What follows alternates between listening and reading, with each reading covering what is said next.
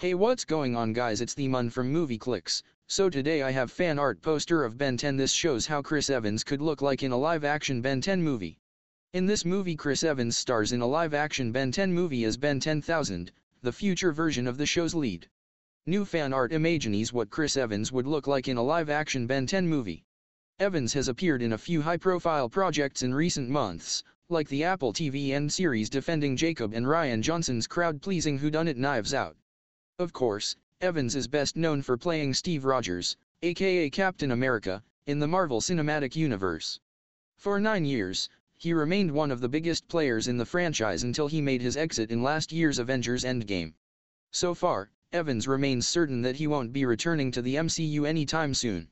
Ben 10 first debuted on Cartoon Network in 2005 and followed Ben Tennyson, a 10-year-old boy who discovers an alien watch while on vacation with his cousin and grandfather. The watch, known as the Omnitrix, allows Ben to morph into different alien species. While Ben 10 proper came to an end in 2008, the franchise continued on with several sequel shows throughout the years. Most recently, Ben 10 was rebooted with a new series that returned to Ben's origins. It premiered in 2016 and is still ongoing today. Over on social media, artists Dream Kai Seeth decided to give Evans the Ben 10 treatment with a new piece. This shows Evans as a hypothetical live-action Ben 10000, or Ben from the future. This Ben has become a fully fledged hero and has the ability to transform into even more aliens, though he still learns some much needed lessons from his younger self.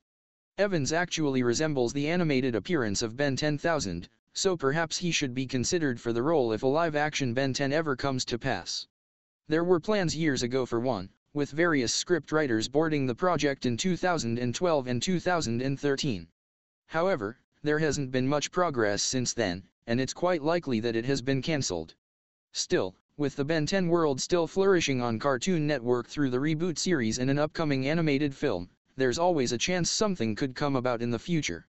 Evans, meanwhile, has quite few projects on the horizon. He's expected to begin production on the Netflix film The Gray Man in early 2021 alongside Ryan Gosling and his MCU directors Joe and Anthony Russo. Additionally, he's been in talks for Scott Derrickson's Bermuda and the upcoming Little Shop of Horrors remake.